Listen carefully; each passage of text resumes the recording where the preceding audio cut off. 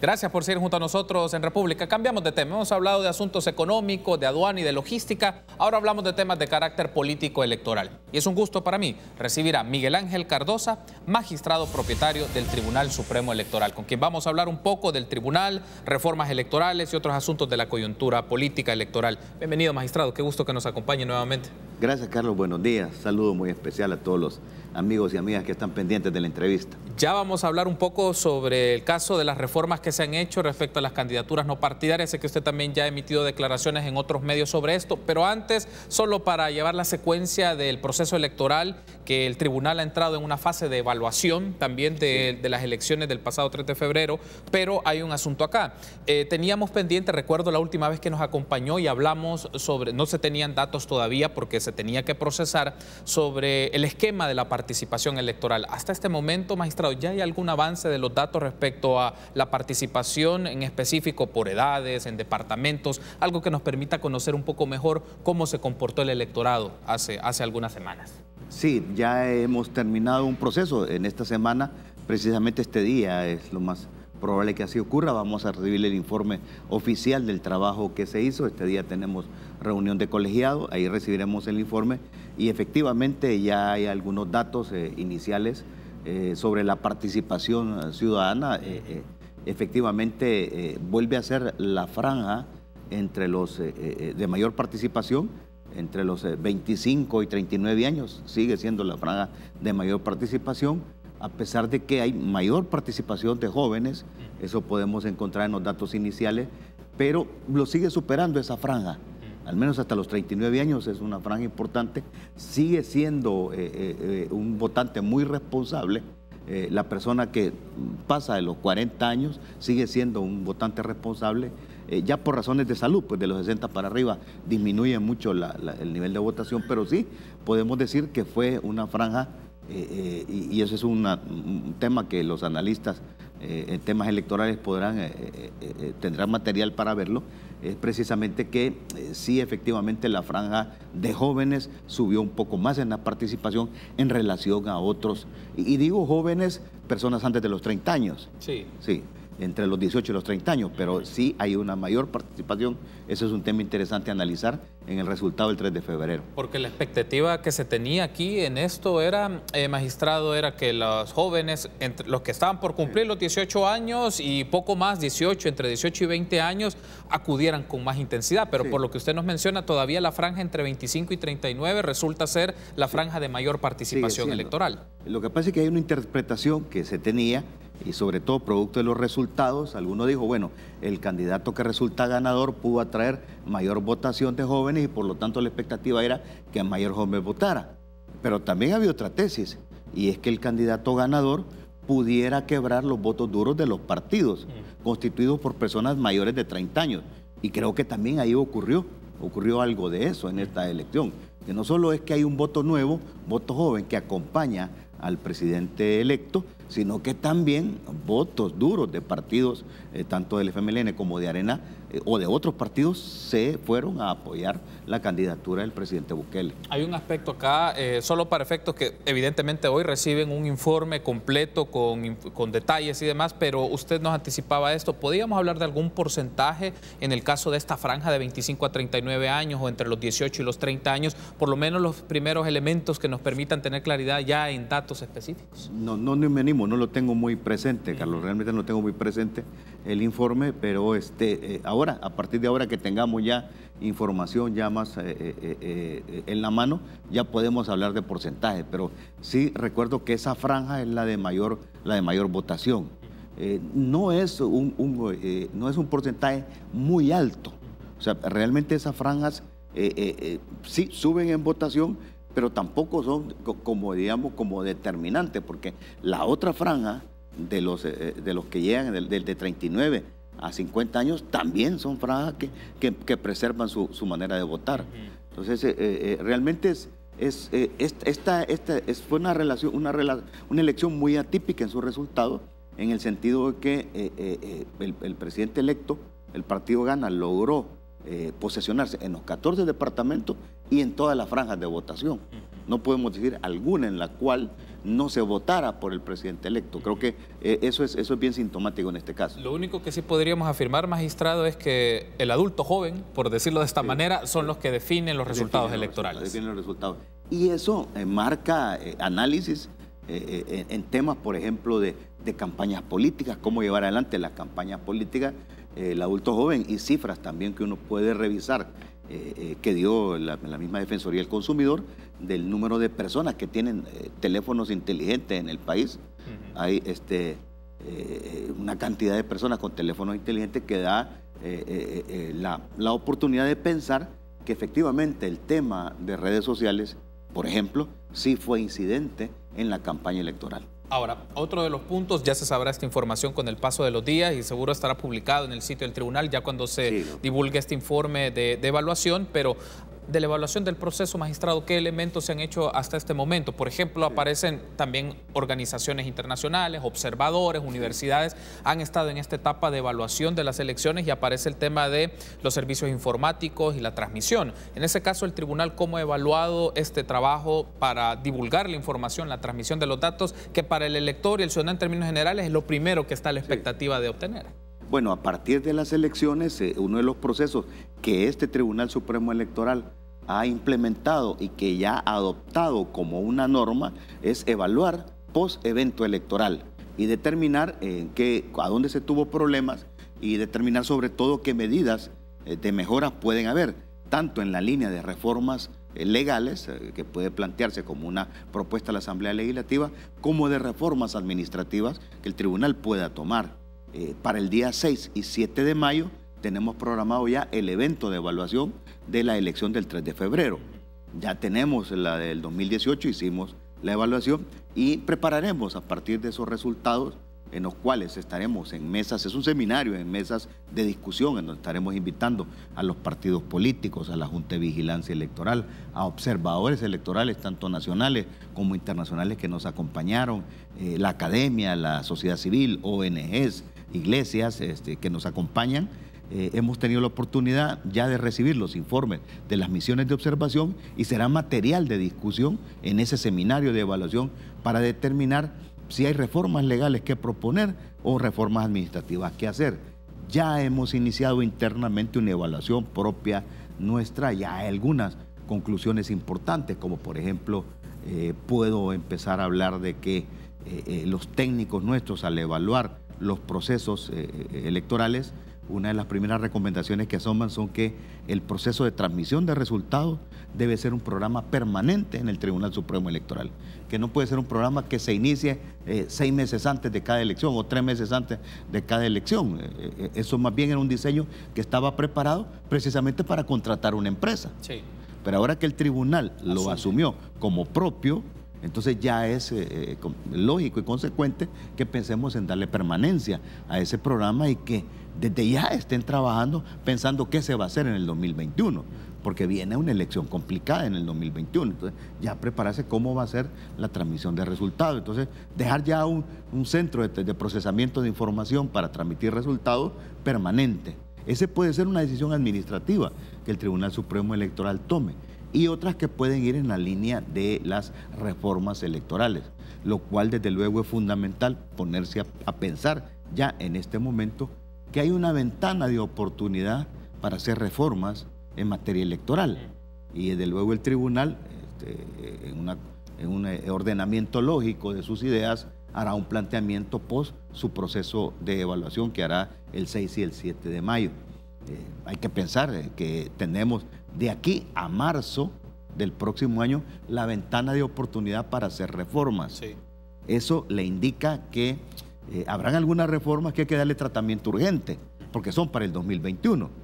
Pero quizás este, metodológicamente sea más importante plantearse una reforma programática, de tal suerte que analicemos aspectos importantes como la autoridad electoral, que hay que revisarla.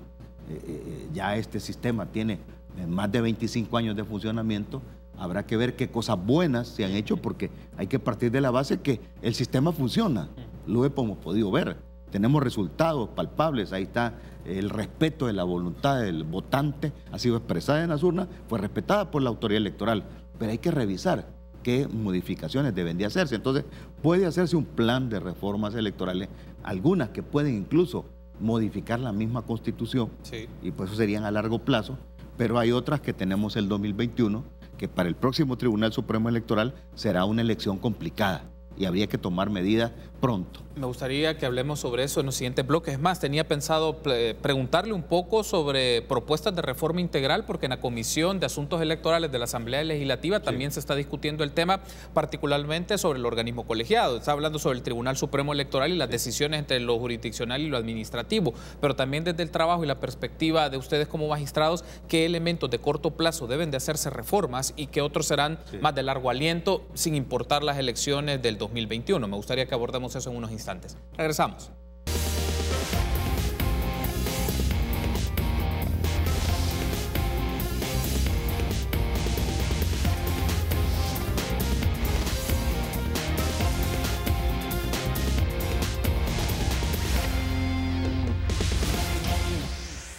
Gracias por seguir junto a nosotros en República. Continuamos platicando con Miguel Ángel Cardosa, magistrado propietario del Tribunal Supremo Electoral. Lo hacemos sobre reformas electorales y trabajo del Tribunal Supremo Electoral. En el primer segmento un poco tener una actualización de los datos o la evaluación que se hace preliminar desde el organismo colegiado de las elecciones presidenciales pasadas del 3 de febrero. Ahora, uno de los temas que ha estado en agenda y en discusión, eh, magistrado, ha sido las reformas aprobadas en Asamblea Legislativa a las disposiciones para la postulación de las candidaturas no partidarias, que básicamente influyen sobre el tema de la suplencia, de hacerlo eh, equilibrado de género, mixta de género, según las reformas aprobadas, pero también hablaban sobre la firma de respaldantes a candidatos no partidarios y también reformas al código electoral sobre las candidaturas no partidarias y el conteo de los votos para la asignación de escaños, que son las reformas. Ya ha generado reacciones de los no partidarios. Leonardo Bonilla ha mencionado que van a considerar interponer recursos ante la instancia jurisdiccional y demás. Pero un punto aquí que, que llama la atención y lo hablábamos en el panel el que tuvimos eh, ayer con Malcolm, con Ruth y con, y, con Guillermo, es cómo quedaba el Tribunal Supremo Electoral ante esto. Fueron decisiones tomadas en Asamblea Legislativa, pero no recuerdo si le consultaron al Tribunal Supremo Electoral su posición como la máxima entidad electoral sobre estas reformas al código. Sí. Mire, un punto importante en esto es que hemos comenzado a hablar de reformas electorales, precisamente por la ventana de oportunidad que le digo yo que es muy corto el tiempo. O sea, hasta marzo del próximo año hay para hacer reforma, porque hay que darle tiempo al nuevo tribunal a comenzar a trabajar. Eso, eso es importante, hablar de la, de la reforma y que se ponga el tema eh, eh, en la discusión pública, porque la discusión de reformas electorales que nos afectan a todos y todas, es necesario que sea con una amplia discusión con diferentes sectores.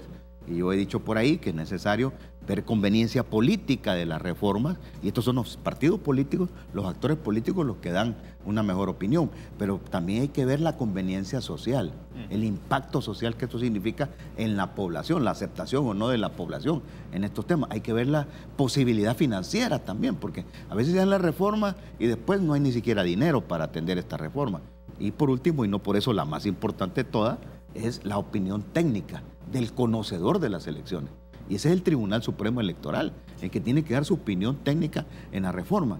Y esto desdice un tema fundamental que es constitucional. Y es que el tribunal, por constitución, es la máxima autoridad en materia electoral.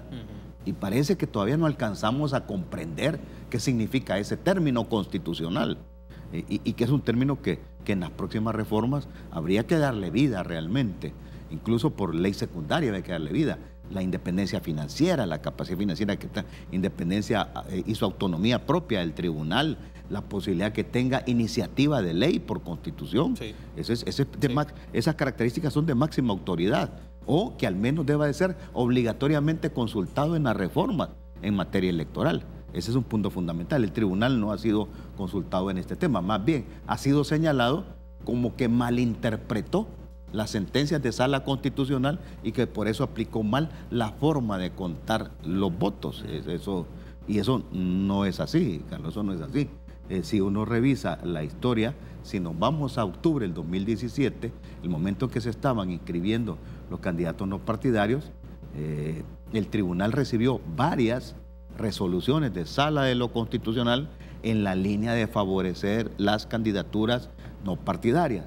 Pongo un ejemplo, eh, que, no se recuerda, pero nosotros sí, porque lo sufrimos en carne propia, los candidatos no partidarios estaban compartiendo firmas de respaldantes. Que hay que diferenciar los respaldantes que son los que apoyan que se inscriba un partido político o apoyan que vaya una candidatura no partidaria, pero que no se afilian con esa línea.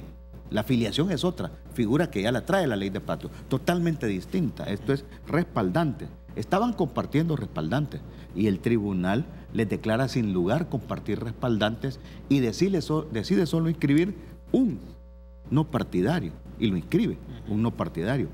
A los días estábamos recibiendo la sentencia eh, como medida cautelar de la Sala de lo Constitucional ordenándole al tribunal que le permitiera compartir firmas de respaldantes. Y el tribunal tuvo que inscribir cuatro, no partidarios. Por eso es que se pudo constituir una lista.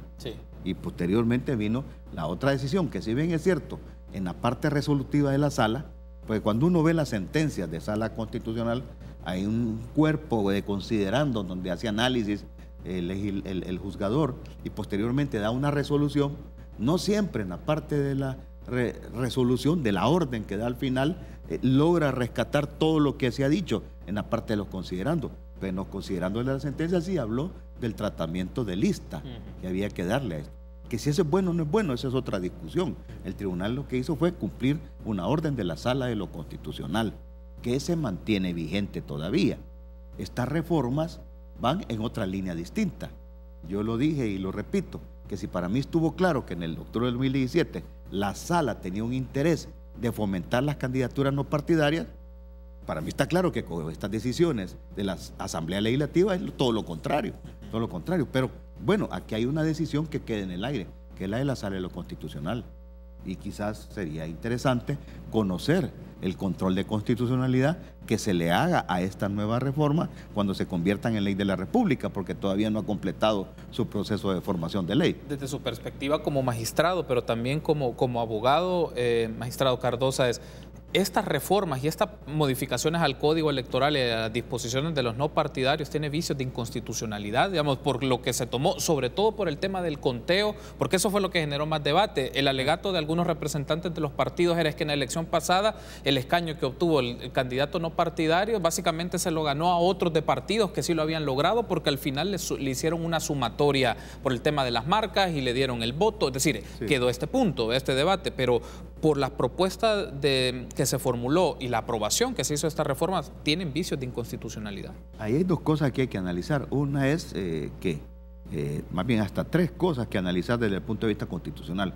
Una de ellas es la proporcionalidad en la elección de los diputados, que fue uno de los argumentos que plantearon los recurrentes del tema ante la sala de lo constitucional, que si mal no recuerdo fue, corrijo, fue a Malcolm, porque ayer Malcolm dijo Eduardo Cuellar, fue Eduardo Escobar, Eduardo Escobar, eh, Félix Ulloa y Ramón Villalta.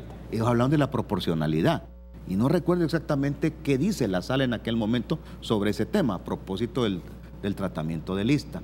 Pero también hay que analizar el principio de igualdad, el tratamiento de igualdad que tenga los no partidarios frente a los partidarios. Pero también hay que analizar el artículo 85 de la Constitución, que es el que le da vida a todo esto, que es que el único medio para llegar al poder son los partidos políticos. Y que en aquel momento la Sala de lo Constitucional interpretó ese artículo y dijo, mire, pero eh, los partidos son un medio, un medio para llegar. Y en una constitución de carácter pro a favor del hombre, el hombre no puede estar por abajo del medio, el medio no puede estar por arriba de la persona humana. Prevalece la persona sobre esa posibilidad y habló de otras eh, eh, normativas de carácter internacional que ha permitido este sistema de candidaturas no partidarias en otros países.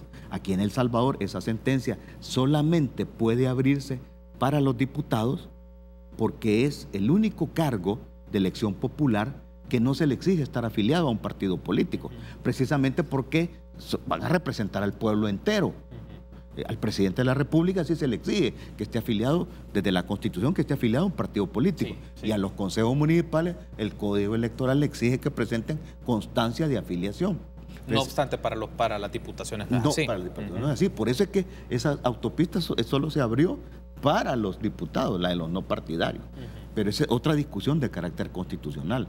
Eh, ahí hay un material que, a mi modo de ver, el único que puede decir si se actuó bien o no, es la misma sala en lo constitucional, que pudiera hacerla, ya sea en seguimiento de sus sentencias, aunque no sabemos si esta sala va a tener el criterio eh, de juez activista, de mayor activista judicial, en darle seguimiento a sus sentencias, no solo sabemos si lo va a hacer, o si hay algún ciudadano que vaya y promueva el control de constitucionalidad. es muy probable porque al final queda un poco esa idea de los no partidarios de que se iban a ir por esta línea. Y eso ¿eh? nos vendría a aclarar las cosas a todos y todas hasta los mismos diputados estarían tranquilos que lo que han hecho lo han hecho bien. Entonces eso podría dar la tranquilidad que en la misma sala se pronuncie. Debo irme una pausa, pero en el último segmento, magistrado, hablemos un poco lo que viene para las próximas elecciones para el Tribunal Supremo Electoral, la reforma integral en el campo del Tribunal Supremo Electoral y otros asuntos. Volvemos.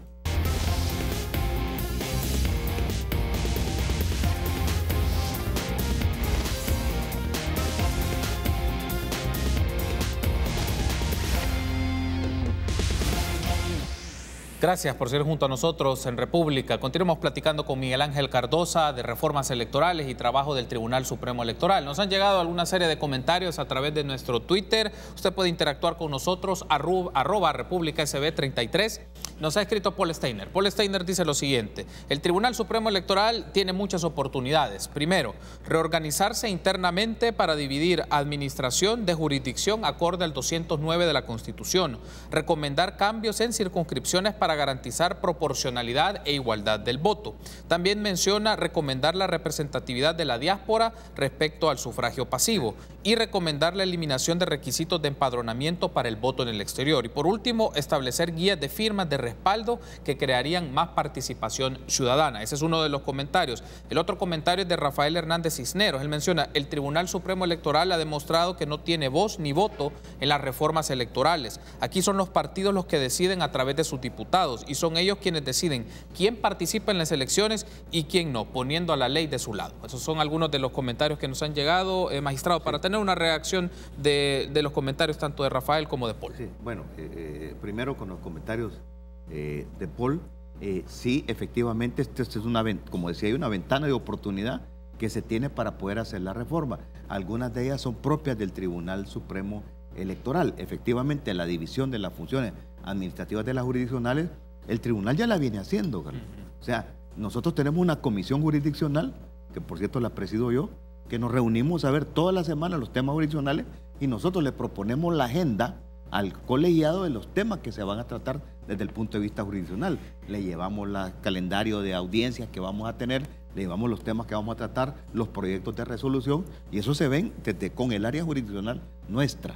Ese es un trabajo interno que ya lo hace el Tribunal Supremo Electoral.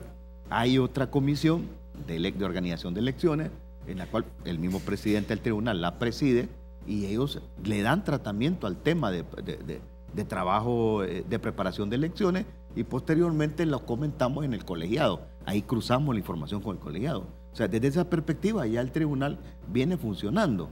Lo que pasa es que aquí se le olvida a la gente que el Tribunal Supremo Electoral tiene muy pocos fondos. Y qué bueno que el panel de ayer lo recordó en varias ocasiones, que no se le da todos los fondos. Eh, y eso creo yo que parte del debate qué tipo de máxima autoridad electoral queremos tener. Si realmente queremos tener la máxima autoridad y le vamos dando forma a esa figura, pues entonces démosle los recursos necesarios para que internamente el tribunal se pueda organizar, como por ejemplo ocurre en el Tribunal Supremo Electoral de Costa Rica y de Panamá, que ellos son concentrados, mm. tienen las, las funciones concentradas, incluso el Registro Nacional de las Personas Naturales lo tienen los tribunales de Costa Rica y Panamá hacia anterior. Entonces, tienen el control de todo. No está disperso el control. En uno lo controlan los partidos, otro no. Lo controlan directamente el Tribunal Supremo Electoral y han profesionalizado estos órganos, han permitido el, fortalecimiento interno a través de decisiones internas, se han fortalecido y funcionan, y funcionan bien. Y están funcionando. Son ejemplos de, de tribunales que funcionan bien. Entonces, pero eso es partiendo de la idea. Por eso planteaba yo que hay que hablar de reforma de manera programática y hay que empezar hablando de la autoridad electoral. ¿Qué tipo de autoridad electoral queremos? ¿Por qué? Y hay que analizar. Eh, ¿Seguirá haciendo propuestas de los partidos políticos los miembros del Tribunal Supremo Electoral? ¿Sí o no? Eh, ¿Dividimos las funciones en dos órganos? ¿Sí o no? Eh, la forma de elección de los magistrados.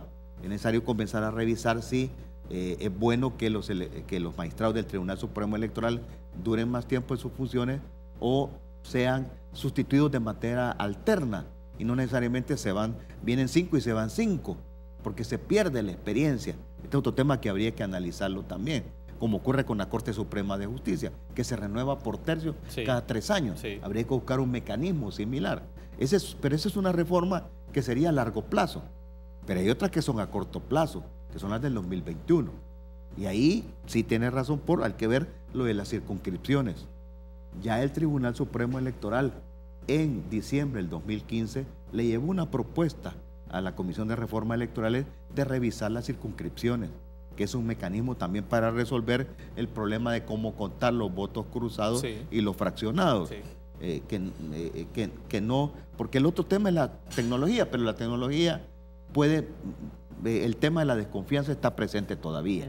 Entonces, las circunscripciones puede ser un mecanismo. Tiene toda la razón, Paul. Hay que revisar el tema de las circunscripciones. Ya hay una propuesta. Sería en función de esa propuesta, entonces, solo para refrescarlo un poco, magistrado, implicaría ya no tener esa lógica para las diputaciones de las 14 circunscripciones que se tienen actualmente, sino que se pensarían en otra cantidad y ya no bajo esta lógica departamental, según lo que el tribunal propuso en aquel momento o qué escenario valoró. Eh, desaparecerían las circunscripciones departamentales, pero bajo el criterio de la población que es el criterio constitucional para determinar las circunscripciones, habría que determinar circunscripciones con suficiente cantidad de diputados para preservar la proporcionalidad, que es un criterio constitucional que había que preservarlo. Incluso en ese debate también había que pensar para el 2021, el nuevo tribunal lo va a tener que enfrentar y la Asamblea lo tiene que discutir, hay que legislar sobre el voto desde el exterior, precisamente por el tema de la diáspora que plantea Paul, hay que revisar el voto desde el exterior y bajo el criterio de proporcionalidad la, hay que crear también mecanismos para elegir diputados desde el exterior y para consejos municipales, eso hay que discutirlo. Que eso se tiene que implementar para el 2021. Hay una orden de la sala de lo constitucional, está la resolución, o a menos que lo cambie la sala, pues. Mm. pero está la orden, está ahí, la sala ordenó a la Asamblea Legislativa que legislara. Mm. Ahí no le dio orden al tribunal, y si no lo hace, usted hágalo. Le quedó la orden directamente a la Asamblea Legislativa. Tienen que legislar al respecto y ahí hay que revisar eh, diferentes mecanismos eh, para elegir diputados o para elegir consejos municipales desde el exterior. Lo que incluye en el caso de los diputados hasta se puede crear una circunscripción desde el exterior. Porque si el criterio es la base de población, habría que preguntarse cuántos salvadoreños en el exterior viven. En una gran cantidad. Ya pudieran tener derecho al menos a un diputado o a más. Habría que revisarlo. Mm. Ese es un punto que hay que discutirlo. Pero eso sí quedó en manos de la Asamblea Legislativa. Ahora, lo del empadronamiento que dice Paul, mientras mantengamos el sistema de voto epistolar, es necesario el empadronamiento, porque es la única forma para actualizar la dirección de la persona, a dónde vamos a mandar. Ahora, quizás será mejor discutir, mantenemos el voto por correspondencia, pasamos al voto por internet, que creo que sería el otro mecanismo que pudiera implementarse. Eh, las reformas de las circunscripciones sería interesante verlas para el 2021, porque eso resolvería también ese, la forma de contar los votos cruzados que son las complicaciones. Estamos por finalizar la entrevista, magistrado, nos restan un par de minutos, pero no quiero pasar por alto consultarle sobre esto. Uno de la información que también la ciudadanía, las organizaciones, los periodistas están a la expectativa es sobre el financiamiento de los partidos políticos, los financistas. Todavía en el sitio web del tribunal solo hay datos hasta el, 2000, hasta el 2015. ¿Qué pasa con los datos 2016-2017 de los financistas de los partidos políticos que el Tribunal Supremo Electoral publica y lo que se conoce un poco por el lado del Ministerio de Hacienda y que lo publicó la Secretaría de Transparencia de la Presidencia, pero del lado del tribunal, ¿cómo va esta información que se ha trazado mucho porque no se tienen datos de los últimos tres años? El 2016 estamos cerrando ya esos expedientes, hemos tenido eh, eh, eh, las últimas audiencias, algunas vamos a, a sancionar, otras hemos exonerado Solo estamos pendientes de un recurso de revisión de un caso específico que probablemente este día podamos ver ya un proyecto para resolverlo. En el caso del 2017, estamos por conocer los proyectos para ya implementar las audiencias sancionatorias y a partir de que ya hemos, de que los procesos finalizan y se finiquitan, entonces ya, porque la ley dice que eh, serán reservadas la información de los procesos abiertos contra los partidos políticos. Hasta que cerramos los expedientes podemos publicar la información y ya hemos empezado a recibir, eh, más bien ya recibimos casi todos, solo uno o dos casos están pendientes de los balances contables del año pasado y que ya el tribunal va a comenzar a recibir también. O sea, esa información se está trabajando, la información está ahí en los procesos correspondientes. Una vez que se van cerrando los procesos, entonces es posible publicarlos.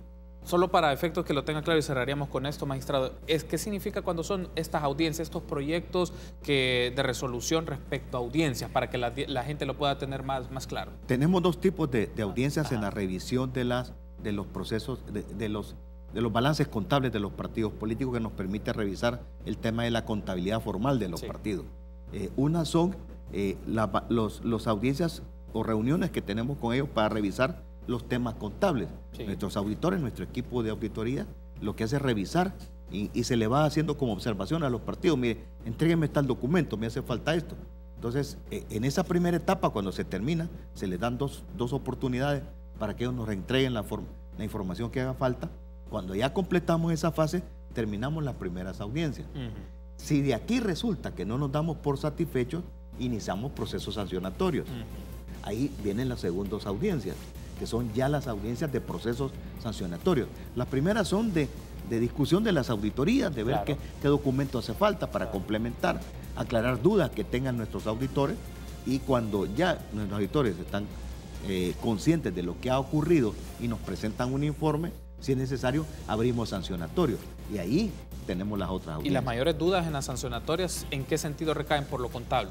Eh, bueno, algunas veces por el tema de que no hay compatibilidad, por ejemplo, entre el listado de donantes con lo informado en el balance o no coincide, que al cruzar la información con los formularios del Ministerio de Hacienda, no hay coincidencia de ellos. Entonces, a veces si no los aclaran en las primeras etapas, pues nos vamos a los sancionatorios y allá es posible sancionarlos por falta de contabilidad formal. Perfecto, quiero darle las gracias, magistrado Cardosa, por habernos acompañado. La invitación está hecha para que sigamos discutiendo estos temas en las próximas semanas y también cuando tengamos un panel con el mayor de los gustos, eh, pues nos gustaría que, esté con nosotros acá y tengamos este debate sobre desde la perspectiva del organismo colegiado sobre la agenda de reforma electoral. Como no, con todo gusto, Carlos. Recuerde que hasta el 31 de julio llega este Tribunal Supremo Electoral pero después desde luego me podrá invitar ya como comentarista. Con el mayor de los gustos, gracias por habernos acompañado, magistrado Cardosa, y a ustedes también amigos, ha sido un gusto, será hasta mañana, 6.30. Tenga un buen día.